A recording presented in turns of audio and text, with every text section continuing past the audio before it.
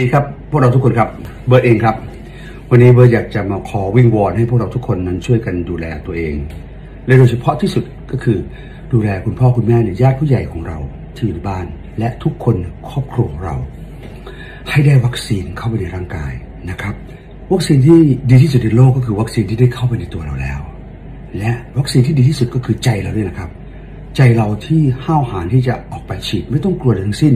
เพราะว่าเราทำเพื่อความรัก รักครอบครัวของเรา รักคนที่เรารัก และรักตัวเราเอง เมื่อประกอบกับหลาย ๆ คนหลายๆครอบครัว ประเทศไทยของเราก็จะปลอดภัยครับ วัคซีนนี้ฉีดเข้าไปแล้ว ก็เหมือนเราได้ ซ้อมมอเตอร์ไซค์ใส่หมวกกันน็อกแต่ขอให้มีความมั่นใจ เมื่อเรามั่นใจแล้ว เมื่อเราฉีดเข้าไปแล้วเมื่อจะบอกให้นะครับว่า ลูก ๆ ที่อยู่ไกลคุณพ่อคุณแม่ช่วยจัดการให้ด้วย ช่วยจัดการจองที่คุณหมอพร้อม พี่เบสยังได้ฉีดเรียบร้อยแล้วเลยนะครับ อยากให้ขอบคุณเอ่อบุคลากรทางการแพทย์ที่มีการสละเวลาของตัวเอง ในการช่วยเหลือพี่น้องที่ติดโควิดตรงนี้ค่ะก็ยังไงก็สู้ๆนะคะ คุณพี่หมอทุกคนนะคะ เพราะว่าพวกคุณคือเขาเรียกว่าเป็นเหมือน